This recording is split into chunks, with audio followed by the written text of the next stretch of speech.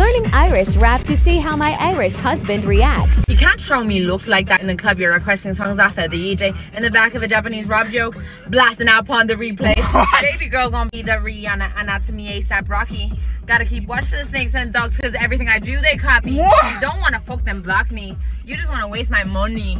Call me up late night on You're that joking. FaceTime. What? I'm done. She don't fucking till she signed that paperwork. Hmm. No way! When did you learn those? I'm Irish. We need to get you back to Ireland. Lemonade vaping the gob.